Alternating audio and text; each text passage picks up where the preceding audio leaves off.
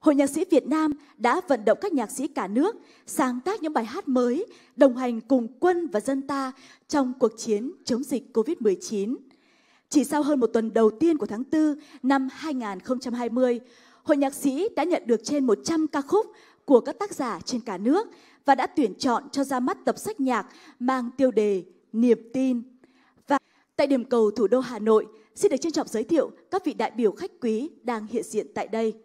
Và ngay bây giờ xin mời quý vị sẽ cùng tiếp tục đến với điểm cầu Đà Nẵng Huế và điểm cầu thành phố Hồ Chí Minh.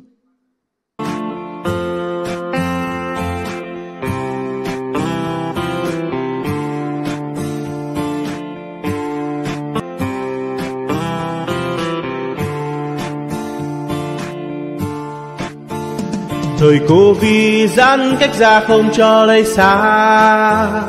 Diệt Covid chống Covid chung tay bạn ơi, yên vui mọi nhà. Thời Covid giãn cách ra không cho lây xa. Diệt Covid chống Covid chung tay bạn ơi, yên vui mọi nhà. Thời Covid giãn cách ra không cho lây xa. Diệt Covid chống Covid chung tay bạn ơi, yên vui mọi nhà. Diệt Covid chống Covid chung tay bạn ơi, yên vui mọi nhà. Diệt Covid chống Covid chung tay bạn ơi,